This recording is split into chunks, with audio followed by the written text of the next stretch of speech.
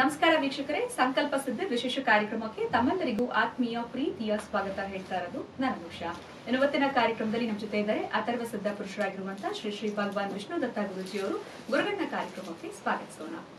ನಮಸ್ತೆ ಗುರುಗಳೇ, ಕಾರ್ಯಕ್ರಮಕ್ಕೆ ಆತ್ಮೀಯ ಸ್ವಾಗತ. ಗುರುಗಳೇ, ಸಾಕಷ್ಟು ಜನ ಎಲ್ಲೋ ಒಂದು ಕಡೆ ಸಮಸ್ಯೆಗಳು, ತೊಂದರೆಗಳು ಅನ್ನುವಂಥದ್ದು ಮನುಷ್ಯನಿಗೆ ಕಾಡ್ತಾ ಇರುತ್ತೆ ಅಂತ ಹೇಳ್ಬೋದು. ಹಣಕಾಸಿನ ತೊಂದರೆ, ಸಾಲದ ಬಾಧೆ, ಈ ರೀತಿ ಅನೇಕ ಸಮಸ್ಯೆಗಳಿದ್ದಾಗ ಸಾಕಷ್ಟು ದೇವರನ್ನ ನಾವು ಬೇಡ್ಕೊಳ್ತೀವಿ. ವಿಷ್ಣು ಸಹಸ್ರಮ ಆಗಿರ್ಬೋದು, ಅಥವಾ ಪಾರಾಯಣಗಳನ್ನ ಮಾಡ್ತಾ ಇರ್ತೀವಿ ವ್ರತಗಳನ್ನ ಮಾಡ್ತಾ ಇರ್ತೀವಿ. ಈ ಎಲ್ಲ ಮಾಡ್ಕೊಂಡ್ರು ಕೂಡ ಪರಿಹಾರ ಅನ್ನುವಂಥದ್ದು ಸಿಕ್ಕಿರೋದಿಲ್ಲ.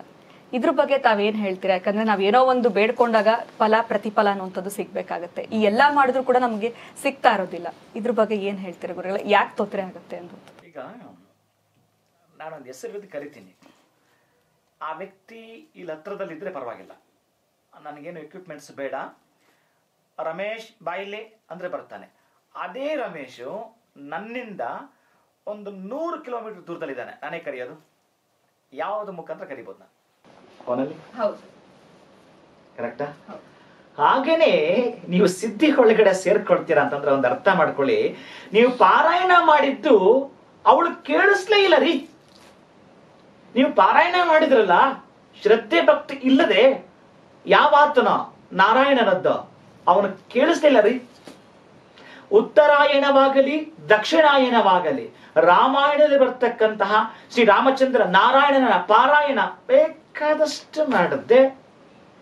ಹ್ಮ್ ಫಲ ಸಿಗ್ಲಿಲ್ಲ. ಏನು ಯೂಸೇ ಆಗ್ಲಿಲ್ಲ ಅಂತ ಅನ್ಸ್ಬಿಟ್ಟು ಅನ್ಸ್ಬಿಡುತ್ತೆ ಕೇಳಿಸ್ಬೇಕು ಅವನಿಗೆ.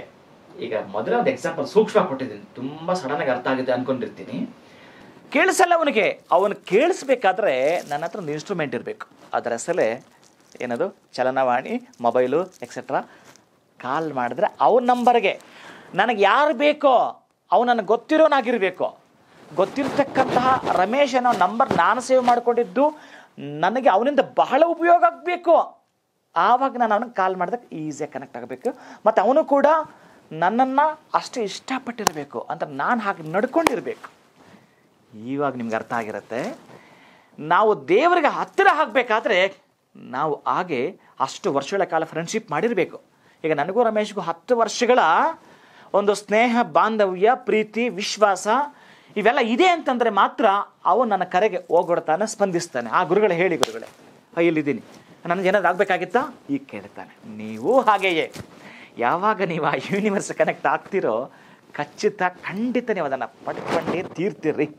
ವಿಷ್ಣು ಸಹಸ್ರನಾಮವೋ ಅಥವಾ ಶಿವ ಸಹಸ್ರನಾಮವೋ, ಲಲಿತಾ ಸಹಸ್ರನಾಮವೋ ನಿಮ್ಗೊಂದು ಹೇಳ, ನನ್ನ ಆಶ್ರಮದಲ್ಲಿ ಪ್ರಾತಃ ಕಾಲದ ಯಜ್ಞವೂ, ಮಾಧ್ಯಾಹ್ನ ಕಾಲದ ಅಭಿಜಿನ್ ಲಗ್ನವೂ, ಮತ್ತು ಸಂಜೆ ಗೋಧಿ ಲಗ್ನವೂ ಸೇರಿದಂತೆ ತ್ರಿಕಾಲಗಳಲ್ಲಿ ಯಜ್ಞವನ್ನು ಮಾಡುತ್ತಿದ್ದೇನೆ ಇನ್ನು ನನಗೆ ಕನೆಕ್ಟ್ ಆಗಲಿಲ್ಲ.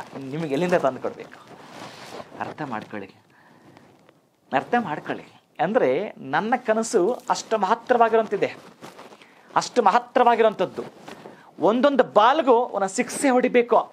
ನನ್ನ ಗೋಲ್ ಅದೇ ಆಗಿರುತ್ತೆ. ಹಾಗಂತ ಏನು?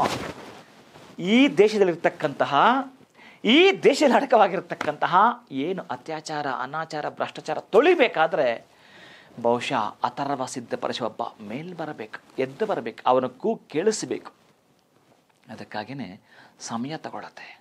ನಿಮ್ಮ ಕನಸು ಏನು? ವಿಷ್ಣು ಸಹಸ್ರನಾಮ ಪಾರಾಯಣ ಮಾಡ್ತಿದ್ರಿ ಅಂತಂದರೆ, ಈಗ ನೋಡಿ ನೀವೇನು ಹೇಳ್ತೀರಿ?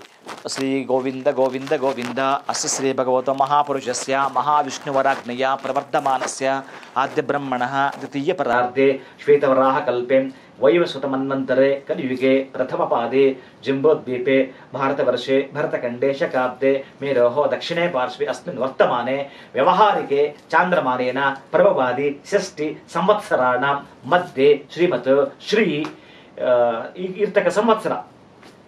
ಏನ್ ಸಂವತ್ಸರ ಇದು? ಯಾವ ಸಂವತ್ಸರ? ಯಾವ ಆಯನ?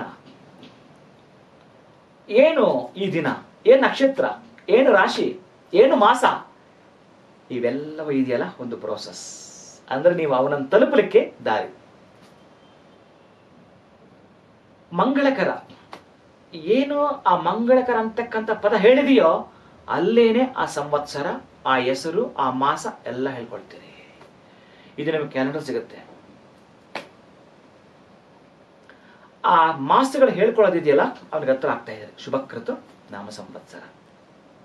ದಕ್ಷಿಣಾಯನ. ಇವತ್ತು ಮಾತ್ರ ಮಾತಾಡ್ತೀನಿ ನಾನು. ಶುಭಕೃತ ನಾಮ ಸಂವತ್ಸರ. ದಕ್ಷಿಣಾಯನ. ಹೇಮಂತ ಋತು ಪುಷ್ಯ ಮಾಸೆ ಶುಕ್ಲ ಪಕ್ಷ ಏನ್ ಇವತ್ತು ತಿಥಿ ಇರುತ್ತೋ? ದ್ವಾದಶಿ. ಈ ತರಹದ್ದು ನಾನು ಮಾತಾಡಿರ್ತೀನಿ. ಇವತ್ತು ನಾನು ಅವನ್ನ ಮಾತಾಡ್ಲಿಕ್ಕೆ ಇರ್ತಕ್ಕಂತಹ ದಾರಿ ಏನು? ಸಬ್ಜೆಕ್ಟ್ ಏನು? ಅಂದ್ರೆ ನಾನು ರಮೇಶ್ ಕಾಲ್ ಮಾಡಿ ಸುಮ್ಮನೆ ಇರಬಾರ್ದಲ್ಲ. ನಾನು ಮಾತಾಡ್ಬೇಕಲ್ಲ ಹತ್ರ ಇಂಥ ವಿಷಯ, ಇಂಥ ಮ್ಯಾಟ್ರ್ ಅಂತ. ನಿನಗೆ ಏನ್ ಬೇಕೋ, ವ್ಯವಹಾರ ವಶೀಕರಣ, ವ್ಯಾಪಾರ ವಶೀಕರಣ, ಧನ ವಶೀಕರಣ, ರಾಜ ವಶೀಕರಣ, ರಾಜ್ಯ ವಶೀಕರಣ, ರಾಷ್ಟ್ರ ವಶೀಕರಣ, ಶತ್ರು ವಶೀಕರಣ, ಮಿತ್ರ ವಶೀಕರಣ, ಭ್ರಾತೃ ವಶೀಕರಣ, ಯಾವುದು ಅದು ಬೇಕು. ಇದನ್ನೇ ಸಿದ್ಧಿ ಅಂತ ಕರೀತಾರೆ. ನೀನು ಪಾರಾಯಣ ಮಾಡಿದ್ದು ನಿನಗೆ ಕೇಳಿಸ್ತು, ನಿನಗೆ ಸಮಾಧಾನ ಆಯ್ತು ಹಂಗಂದ್ರೆ ತಪ್ಪಿಲ್ಲ, ಅದು ಖಂಡಿತ ಮಾಡಿ. ಸಮಾಧಾನ ಸಿಗತ್ತೆ.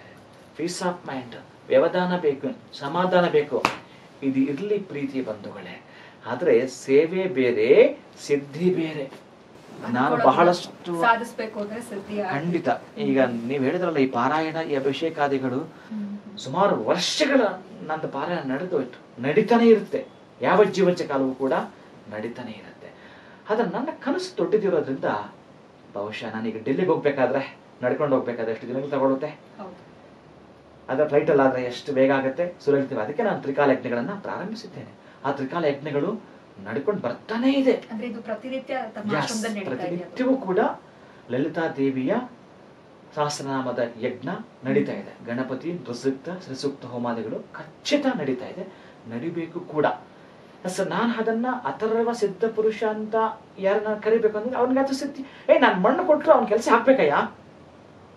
ಅಂತ ಅನ್ನೋದಿತ್ತು ಅಂತಂದ್ರೆ ನಂದೇನು ಇರಲ್ಲ ಪಾತ್ರ ನಾನು ನಿಮಿತ್ತ ಮಾತ್ರ. ನಾನೊಬ್ಬ ಕೆಲಸಕ್ಕೆ ಬರದವ. ಎಸ್ ನಾನು ಯಾರ ಜೊತೆ ಕನೆಕ್ಟ್ ಆಗಿರ್ತೀನಲ್ಲ? ಅವನು ಅದನ್ನು ಮಾಡ್ತಿರ್ತಾನೆ. ನಾನೀಗ ಒಂದು ಮೈಕ್ ಸೌಂಡ್ ಬಾಕ್ಸ್ ಎಲ್ಲೋ ಇದೆ. ಸೌಂಡ್ ಬಾಕ್ಸ್ ಎಲ್ಲೋ ಇರುತ್ತೆ ಅಲ್ಲಿರೋ ಜನಕ್ಕೆ ಆ ಸೌಂಡ್ ಬಾಕ್ಸಲ್ಲಿ ವಾಯ್ಸ್ ಕೇಳಿಸ್ತಾ ಇರುತ್ತೆ. ಅದೊಂದು ಡಬ್ಬ. ಅದ್ರಲ್ಲಿ ಕೇಳಿಸ್ತಿರುತ್ತೆ. ಎಸ್ ಎಲ್ಲೋ ಮಾಡ್ತಿರ್ತಾರೆ ಮೈಕ್ ಅವನದದು ಮೈಕ್ ನಾನು ಓನ್ಲಿ ನಿಮಗೆ ಸ್ಪೀಕರ್ ಬಾ ಆ ಸ್ಪೀಕರ್ ಬಾಕ್ಸ್ ಅಷ್ಟೇ. ಅವನೇನು ಹೇಳ್ತಾನೆ, ನಾನು ನಿಮ್ಗೆ ತಿಳಿಸ್ತೀನಿ.